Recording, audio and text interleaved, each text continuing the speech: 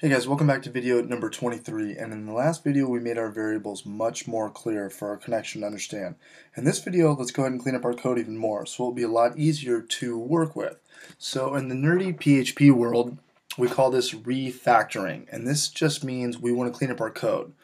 So I just want to clean up our code and make it a little bit more clear before we start adding dynamic links. Nothing's going to change, we're just going to create our queries to be a little less sloppy. Okay, so let's go ahead and open up our content.php file, which is right here. Kind of getting used to that at this point.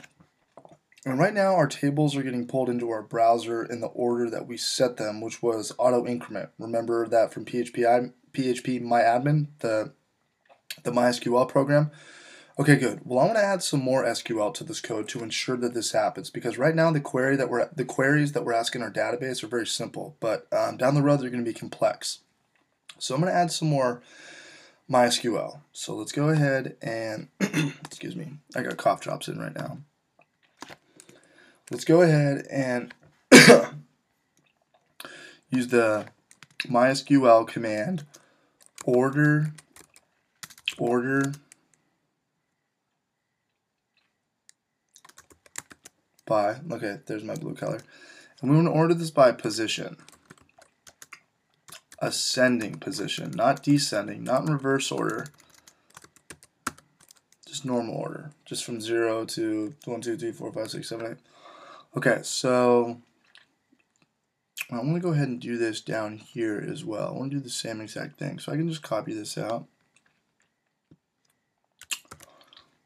And let's go ahead and go down to our page underscore set variable. And okay.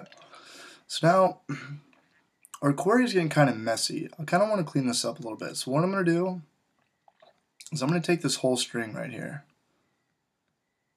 And I'm going to go ahead and copy this.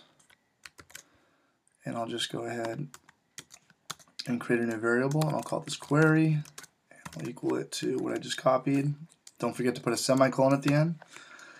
And I want to go ahead and do this to our variable down here. I want to take our query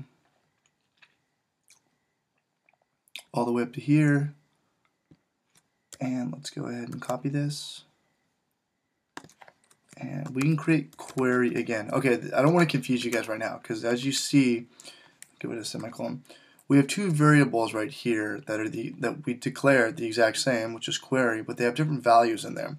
Don't be confused. We have we they're both called query, but they have different values in them. Well, PHP recognizes the SQL in the variable and uses it only one time. So this is an exception to PHP variables. So we can go ahead and get rid of this stuff right now.